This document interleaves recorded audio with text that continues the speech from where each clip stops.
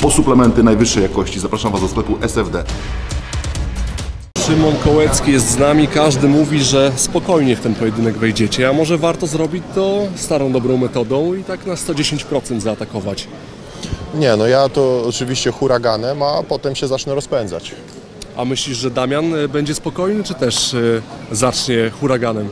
Trudno powiedzieć, no jeżeli też zacznie huraganem, to nie wiem co wynika z, e, ze zderzenia się dwóch huraganów, ale coś na pewno mocnego.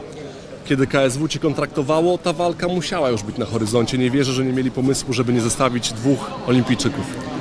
Nie wiem, e, twierdzili, że nie e, w momencie, kiedy mi ją zaproponowali, chociaż ja też się spodziewałem, że e, będą do tego dążyli, ale nie, ale nie w tym okresie, nie, nie, nie, ponieważ przygotowałem się do innej walki, do innego przeciwnika w innej kategorii wagowej e, i jakby w sierpniu to zostało zmienione, także wtedy się tego nie spodziewałem. No właśnie, a propos tych kategorii wagowej, Damian Janikowski jest z innej, z niższej kategorii wagowej. Dużo ryzykuje tak naprawdę wchodząc z zawodnikiem wagi ciężkiej, można powiedzieć. No, ja też walczyłem w wadze ciężkiej. I, zawodnikami ważącymi 120 kg. Także to, to są plusy i minusy. No, cięższy no jest cięższy, jest silniejszy, ale teoretycznie jest wolniejszy. Różnie, może chociaż ja nie uważam, żebym był w tej walce wolniejszy. Ja uważam, że jestem dosyć szybki jak na tą kategorię wagową. Nie wiem, no takie było ich życzenie, bo w sumie do, do federacji trafiła prośba sztabu Damiana o tą walkę i e, takie było też ich życzenie. Także myślę, że nie uważają, że cokolwiek ryzykują. A kto Twoim zdaniem jest bardziej wszechstronny, Ty czy Damian Janikowski? Kto się bardziej rozwinął w MMA przez te lata? To dopiero siódmego się okaże. Ja uważam, że bardzo dobrze potrafię łączyć e, wszystkie płaszczyzny w MMA, ale oczywiście Damian też to potrafi. Pytanie, kto to zrobi o kilka procent lepiej. Obejrzałeś trening Damiana? Nie, nie, nie. Gdzieś tam się dogrzewałem z trenerem chwilę z tyłu, ale pewnie obejrzę go sobie wieczorem. A w jakiej ty według samego siebie jesteś teraz w dyspozycji? W jakiej jesteś dyspozycji? Jakby to określić? Na pewno jestem o wiele lepszym zawodnikiem, jeżeli chodzi o wszechstronność i techniki i płaszczyzny niż byłem przed walką z Mariuszem.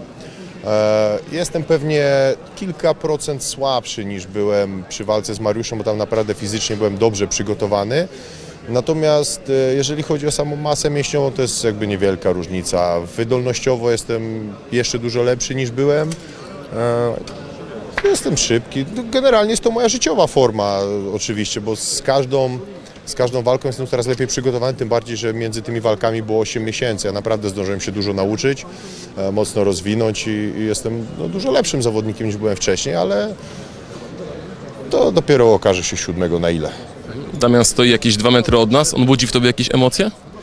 Nie, no, znam Damiana już wiele lat. Generalnie trochę jak gdyby jest trudno walczyć z kimś, kogo się zna i wolałbym się bić z kimś, kogo nie znam, jakby nie mam jakichś takich personalnych kontaktów, a z Damianem znamy się od lat i, i niewątpliwie to jest jakaś przeszkoda, natomiast nie budzi we mnie żadnych emocji związanych z walką.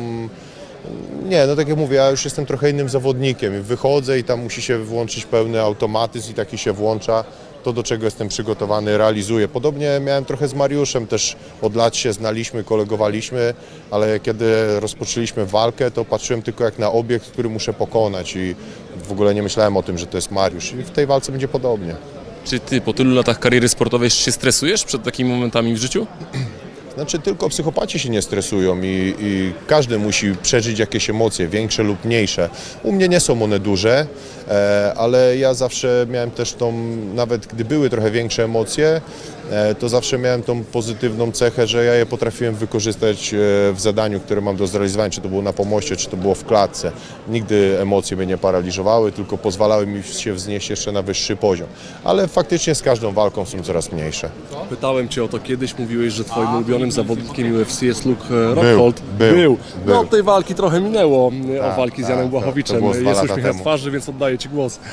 Tak, Luke. Nie, Luke w ogóle e, od jakiegoś czasu już nie był moim ulubionym zawodnikiem, bo on trochę bardziej na Kena e, pasował w pewnym momencie, czyli partnera Barbie niż na zawodnika MMA. Janek go sprowadził na ziemię. Nie podobały mi się zaczepki, jakie w kierunku Janka on tam wysyłał. E, Jeszcze zanim doszło do ich walki, to, to wyśmiewał gdzieś tam kiedyś Janka walkę i już od tego momentu przestałem go w ogóle lubić jako swojego ulubionego zawodnika. A teraz moimi ulubionymi są Cormier i, i Velasquez. AK, wielkie dzięki. Dziękuję. Po suplementy najwyższej jakości zapraszam Was do sklepu SFD.